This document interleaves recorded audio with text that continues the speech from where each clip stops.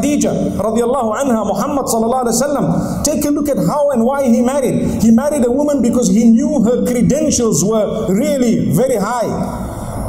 The fact that she was 15 years older than him did not bother him because he said, She will be a good mother to my children and a brilliant wife to me. And guess what? The day he came with revelation, the first person he rushed to was her. And you know, he said, Zammiluni, Zammiluni, you know, cover me. I need a tight hug.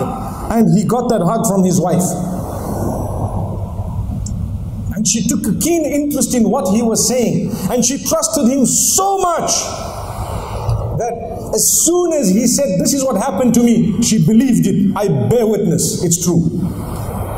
Today, you tell your wife, if she waits for you, I hope it's not with a stick, but if she waits for you, where were you?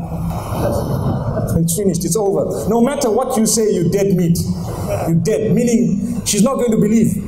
Just where you were, she doesn't believe. She phones you and says, Where are you? You say, Oh, I'm sitting in the masjid, but I've got GPS tracking on you. You're sitting in the club.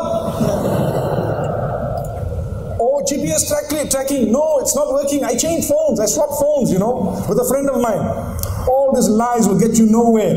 You are a person whom your spouse does not need to phone you to ask you where you are. You should be such, you phone her or you message her or vice versa. Darling, this is where I am. I hope to be home at this time. And if you don't hear from me by that time, please be worried. Wow. Beautiful. What a nice relationship. But the problem is we don't use these words. We'll use the word darling with a woman we don't really have as a darling.